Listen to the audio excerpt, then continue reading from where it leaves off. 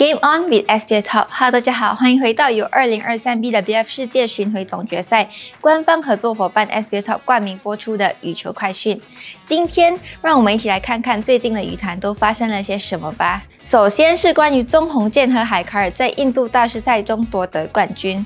大马男双选手钟宏健和海卡尔的出色表现，夺得世界巡回超级一百印度大师赛的冠军。这对八月份才搭档的队友，在十二月十日星期日的决赛中，以二十一比十七、二十三比二十一战胜了台湾的林炳伟、苏清恒。此外，这也是世界排名第六十九的钟宏健和海卡尔，续上周在卢克诺的超级三百赛梅迪国际赛上夺得冠军后的第二个冠军。让我们来看看网友们的评论吧。保持良好的进展。胜利会引起其他人的关注，并以他们的比赛为学习对象，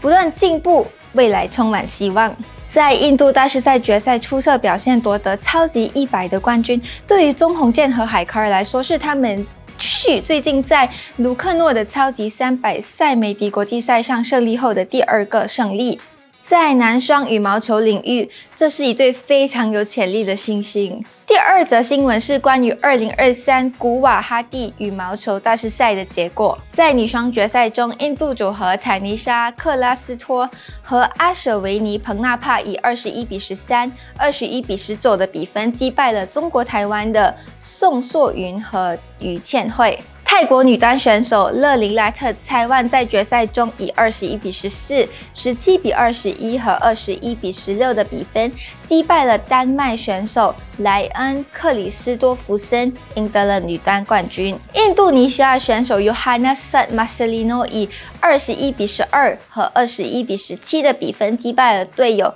LV Vijaya Chaharula，夺得了男单冠军。在混双比赛中，新加坡的许荣凯、陈威涵